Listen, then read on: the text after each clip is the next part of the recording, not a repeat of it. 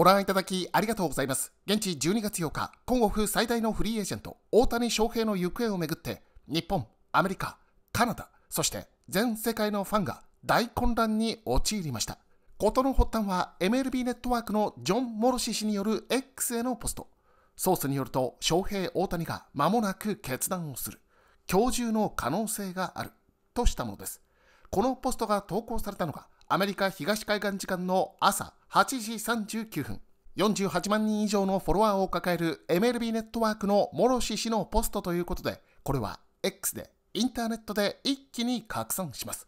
さらにモロシ氏はその後、大谷の決断が迫る中、ブルージェイズがファイナリストの一つだ。とファイナリストの中でブルージェイズにだけ触れるポスト。午前9時台には MLB ネットワークの朝の番組に出演し、今日は歴史的な日になるかもしれないとした上で、ここでもブルージェイズ有力説を唱えます。そして直後には、その自身の出演した MLB ネットワークのクリップを貼り付け、さらにカナダ国旗を添えてのポスト。大谷、ブルージェイズ行きに相当の自信があることが伺えます。もともと大谷は現地10日の日曜日までに決断を下すのではと報道されていたこともあり、X ではいよいよかとの期待が高まり、いくつかのアカウントが大谷が6年前にエンジェルスとサインしたのも今日と同じ12月8日だったという事実をポストすると、今日は彼にとってスペシャルな日だと盛り上がりに拍車がかかります。そして有力、最有力とされたブルージェイズファンもそれぞれの思いをポスト。するとそのブルージェイズファンの一人がこの日午前9時にアナハイム近郊のジョン・ウェイン空港を出発し午後3時54分にトロントに到着するプライベートジェットがあることを確認。この2つの空港を行き来するフライトは珍しいものだとします。当然大谷が乗っているのではとの憶測を呼びこれをきっかけに世界最大のフライト追跡サイトフライトアウェアでファンがこの飛行機のフライトの追跡を開始。一方 X ではアメリカ東海岸時間午前9時42分のカナダのオペラシンガーによるポストが注目を集めます。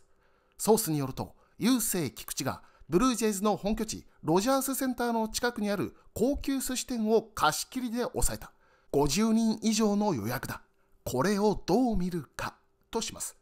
このポストは1000回以上リツイートされ、郵政と翔平は同じハイスクールの出身だ。翔平とブルージェイズの契約を祝うためのパーティーの予約ではとの見方が当然出てきます。その一方で、これは彼のワイフのためのサプライズパーティーだ。翔平は関係ないとするリプライも。ただ、あるアカウントは、優勢のワイフのサプライズバースデーパーティーだとすれば、それは違う。彼女の誕生日は6月24日だから、何か他のお祝いだとします。すると別のアカウントが、優勢菊池のワイフが自分はトロントにいるとインスタに上げているとするポストを引用。さらに2020年12月23日に2人が結婚記念日を祝っている写真も添え、パーティーは大谷のためじゃない、ワイフのためのサプライズでのちょっと早めの結婚記念日のパーティーだ。ランダムなオペラシンガーに踊らされるな、とポスト。いよいよ何が何だかわからなくなってきたその頃、飛行機はディレイ。繰り返します。飛行機はディレイ。と大谷を乗せたのではと思われるプライベートジェットのディレイ、遅れの報告。そしてもちろんジョン・ヘイマン記者による伝説のアーソン・ジャッジツイートも大谷バージョンで登場。盛り上がりに花を添えます。ショーン・大谷がトロントへ向かうようだと名前の間違いはバッチリです。その後、遅れながらも飛行機が飛び立つと、東海岸時間午後12時54分には、アナハイムからトロントへの大谷フライトは今、世界で最も追跡されているフライトだ。4000人以上が見ているとされます。そして遅れのため新たな到着時刻は午後4時56分だとすかさず最新情報も。さらにあるユーザーからは対象の飛行機をズームすれば乗っている大谷の姿を確認することができるぞとの報告も入ります。この頃、サンフランシスコジャイアンツのアレックス・ウッドは今日は大谷がどことサインするのかを見たくて、Twitter、X を更新しまくっているとし、X にはそんなアレックス・ウッドと同じ気持ちのファンを表すミームが数多く流れていました。そして午後1時53分、重大情報が入ります。ドジャースについてのリポート、記事を10年以上にわたり書いているベテランジャーナリスト、BBWAA 全米野球記者協会のメンバーでもある JP フーンストラ氏がウェブサイトドジャースネーション .com にて複数のソースからの情報を踏まえたとした上で大谷はブルージェイズを選んだ。ブルージェイズとサインすると断定。これで一気に大谷ブルージェイズ決定の雰囲気が高まりますがその約10分後午後2時3分カナダのスポーツケーブル局スポーツネットのベン・ニコルソン・スミス記者は現時点で大谷は決断を下していない。そして決断のタイムライン期限もない。ブルージェイズはファイナリストではある。どうなるかとします。同様に北米最大のスポーツケーブル局 ESPN のアルデン・ゴンサレス記者。午後2時9分に大谷は決断を下していない。これはブルージェイズに可能性がないというわけではない。ただ現時点で決断は下されていない。とするとこれを同じ ESPN のジェフ・パッサン記者がリツイート。リツイートのみとはいえここに来てついにジェフ・パッサン登場。これで大谷未だ決断せずの情報の信憑性が増したという空気になりかけますが午後4時1分再び MLB ネットワークのジョン・モロシ氏のポスト。ソースによると翔平大谷は今日トロントに向かっている。彼の代理人事務所 CAA は大谷のトラベルプランについてコメントしていない。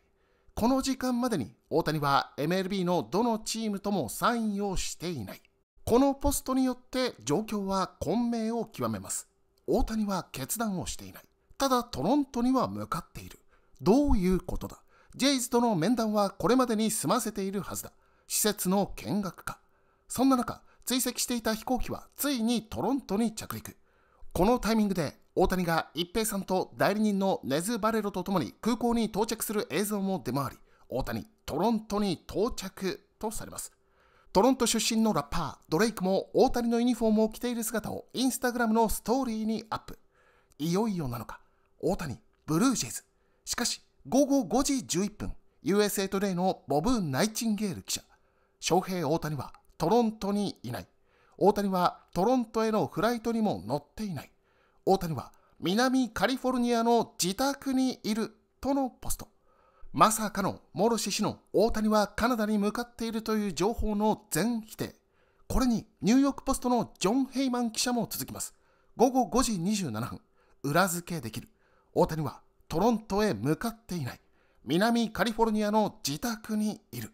ボブとジョンのワンツーパンチ。ではあの空港到着映像は何だったのか。実はこれは別の日にアナハイムの空港に到着した際の映像であることが判明。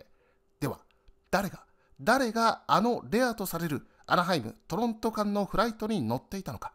X ではエンジェルスの集合写真の際に代役を務めた影武者説も取り沙汰されましたが午後5時54分 CBC ニュースのデビン・ヒロークス氏我々 CBC のフォトグラファーエヴァン・三井がトロントの空港からメッセージを送ってきた。彼は大谷はプライベートジェットに乗っていなかったことを確認した。乗っていたのはカナダ人のビジネスマンロバート・ハージャベクとそのファミリーだとしたのです。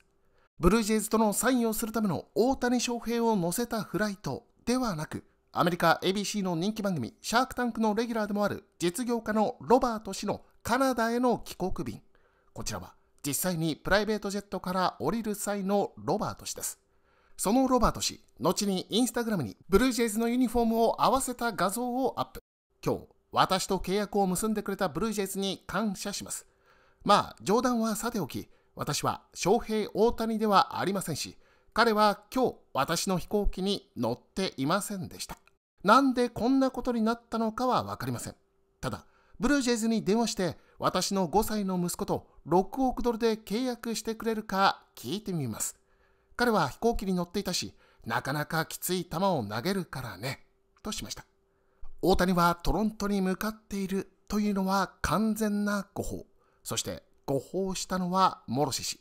午後11時5分、X にて、今日、私は翔平大谷がトロントへ向かっているという不正確な情報を含むリポートをポストしました。このミステイクについて公開していますし、すべてのベースボールファンに謝罪します。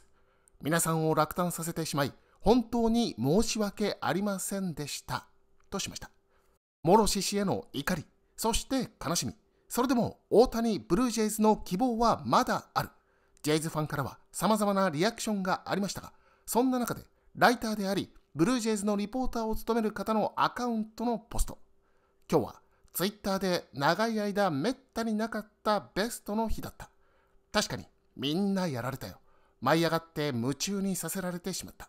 我を忘れてこの大騒動に巻き込まれてしまった。でもそのほとんどはライトで楽しく愉快なものだった。たまにはバカ騒ぎもいいもんだ。こうして2023年12月8日朝8時半過ぎの大谷の決断間もなくという諸獅子のポストから始まりプライベートジェット特定ランダムなオペラ歌手からの謎の郵政菊池とレストラン貸し切り情報。ワイフとの少し早い結婚記念日お祝い説。フライトの遅れもありながら世界の注目を集めドレイクも興味を示しつつ誰もが X を更新し続けながら見守った約8時間にわたった一大エンターテインメント。大谷ウォッチは幕を閉じたのです。改めて大谷翔平は現時点でどこのチームともサインしていません。ご覧いただきましてありがとうございました。よろしければチャンネル登録をお願いいたします。